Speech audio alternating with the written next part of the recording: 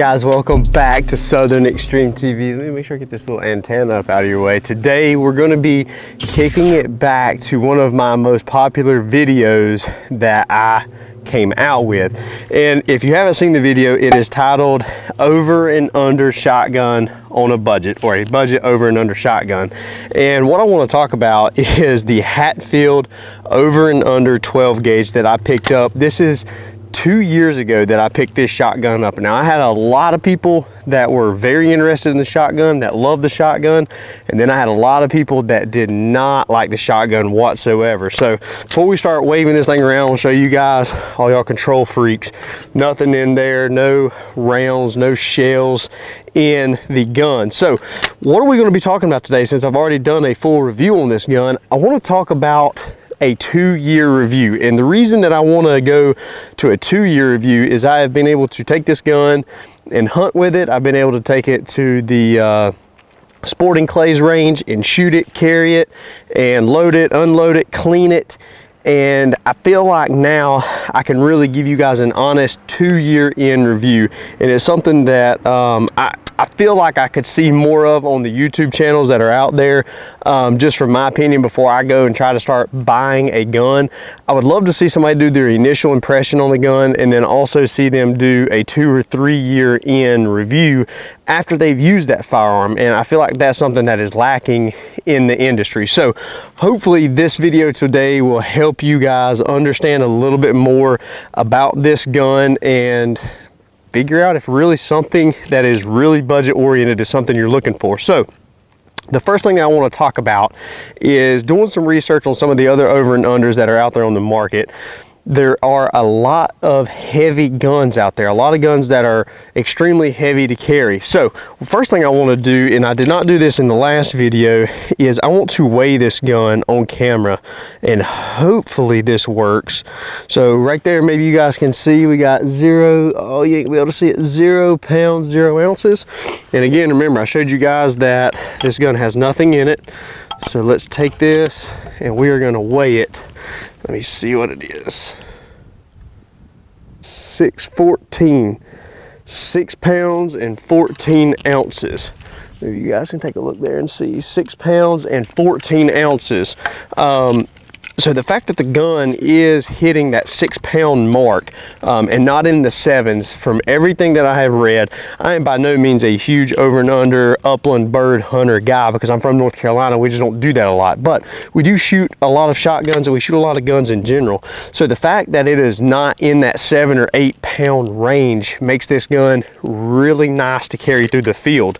Um, it, I mean, as far as carrying it, if uh, I actually took it on a hunt not too long ago trying to shoot some woodcocks and it was very pleasant to carry through the field, through the briars, through the thick stuff. I like it because it's lightweight and it's easy to carry. The negative that I got about it though, and I do want to point this out, I hopefully will be able to get some close-ups for you guys where you can see it, but right here along the barrel, where they have some stenciling and I call it stenciling. It's just where they've made their marks as far as the the name brand and what gauge it is and it's on both sides here. And I don't know how well you guys can see it with the sun shining bright but I'll try to give you guys some close-ups of what I'm talking about. But I'm getting some pitting in this metal or at least in the Cerakote finish that is on this gun. That's one of the things that I think a lot of people were interested in as far as this goes is it's not a traditional looking over and under shotgun because it has this flat dark earth or bronze almost Cerakote finish on the barrel which is something that really brought my attention to this gun and the price point on this gun. Whenever I purchased this gun, I paid right around $300 for this 12 gauge over and under shotgun. And as you can tell, it's a beautiful gun. The only thing that I, I ain't gonna say the only thing, it, this little, this, this is, this is kind of cheesy. It looks kind of glued on. There's been a couple people comment about it, um, how cheesy it looks. And I've got to agree with them. I'm not a fan of that pheasant right there. Um, if they would take that pheasant off and just leave this as a complete Cerakote side, I'm okay with it. Even that it, even though it doesn't have any engravings or anything fancy like some of your higher end guns do, um, I'm okay with that. Now, again, if you've not seen the original video, this gun has extractors, not ejectors. And what that means is whenever you shoot this gun and you go bang, bang, you go to break this gun down, it is not gonna snap and shoot your spent shells out across the field or whatever the case may be, it is going to pull those shells out so that you can grab a hold of them, pull them, put them in your pocket, put them in your pouch, whatever the case may be, and then you can load two new rounds in there. That is actually something that I personally prefer because if I'm in the woods or I'm out in the field and I want to carry my shells out with me, I don't want to litter or whatever the case may be, um, I can actually grab them, pull them out, put them in my pocket and go from there. Um, to point out on this gun, the safety selector is still functioning perfect. I've had no issues whatsoever. You do have a barrel selector switch as well. From what I can tell, no problems there at all.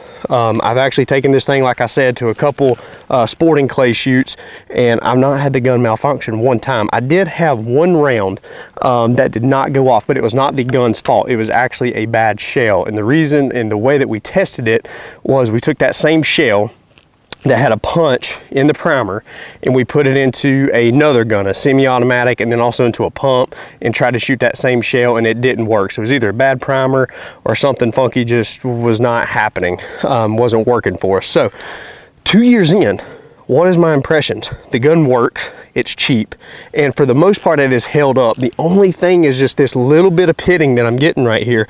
Now I will say that I was not the best about cleaning this gun, but again, that's what I thought that this Cerakote finish was for. You put the Cerakote finish on there to protect that steel.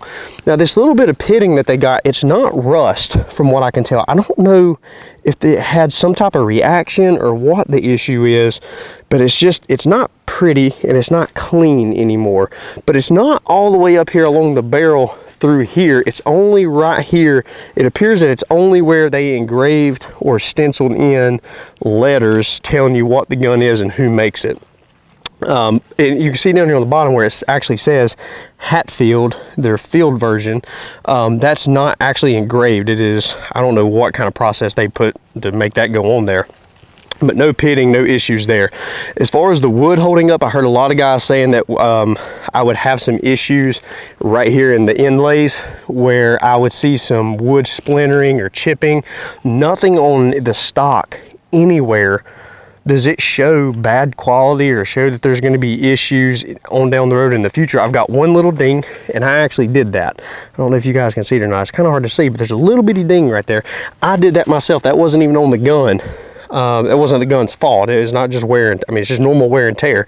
Um, I mean, just, you can't ask for anything more for a $300 gun. I know you guys want to see me shoot it. Hopefully I'm rolling some B-roll, some B footage in here of me shooting this thing. So let's fire a couple rounds out of this thing. I know that's what everybody wants to see on this channel is actually the gun go boom. So let's shoot two rounds and I'm not really just shooting anything. I just got a bank right here. Um, I want to take two shots so you guys can see the recoils, see that the gun is actually still functioning the way it's supposed to. Um, right now I'm gonna show you that it is on safe. This gun is loaded. I'm gonna try to pull the trigger. So clearly the safety is still working. Now let's take this thing off. Safety. Perfect. Now let me show you guys again what I'm talking about, these extractors, not ejectors. So if you see here, when this thing goes down, bam, this little mechanism, I don't know what it's called, pulls the shells out and I can grab them and then put them into my back pocket like I'm gonna do now so that I don't run them over with a lawnmower in the future. So let's go two more rounds, drop it in there. I got the gun back on safe. Go two more rounds. Safety off. Boom, boom break that down, let you guys see that one more time.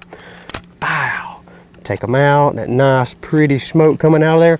Mmm, if you don't love that smell, you got the wrong channel. You're watching the wrong channel. But man, just what an awesome functioning, beautiful, beautiful over and under shotgun at a very budget oriented price. If you're somebody like me that loves to own several different guns, that likes to own a bunch of guns, but also can't necessarily afford a lot of guns.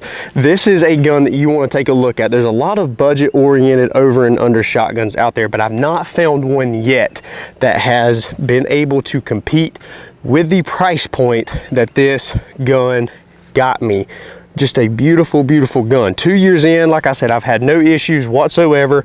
Um, the only issue is just this little bit of pitting. So I can't say I haven't had any issues. Um, that's the only issue I've had. But from a functionality standpoint, the gun is awesome. I absolutely love it. The red fiber optic on the end here is still holding up. I know some of the cheaper guns, you can worry about maybe losing or breaking that bead off over time, carrying it through briars, carrying it through thick stuff. Nothing like that has happened here. Um, fiber optic still in, still in good condition. Nothing wrong with it whatsoever. I know back on my original video, I talked about the action, the break action of it being really, really stiff. And I told you guys that I thought it would work itself out, which it has. You can still see that it's still nice and firm, which is a good thing. And I, am not knocking that, it's a good thing because what tells me is if this thing was just falling completely open and flopping all over the place, that would tell me that I had a lot of wear and tear right here around this hinge. And that's not what you want. You want a gun that's just gradually gonna break in and eventually it's gonna get that perfect fit and that perfect function of falling down breaking open, recocking, and being able to go. So hopefully you guys enjoyed today's video. Hopefully you guys enjoyed this honest two-year update review on this gun. I know I've gotten a lot of people asking me, hey, is that gun still holding up? How's it holding up? And is it still worth it? Is it worth the investment? Absolutely, guys. This is a gorgeous gun. There's not a lot of them out there on the market. And the fact that you don't have to pay a lot of money to get one is phenomenal. Now, I'm telling you guys, the way this market is right now, it's gonna be extremely difficult to find this gun. So I thought about selling it a while back. I'm not gonna sell it. I've decided I'm gonna keep it for what I got in this daggum gun. I can't get rid of it, man. I absolutely love it. Let's shoot this thing two more times.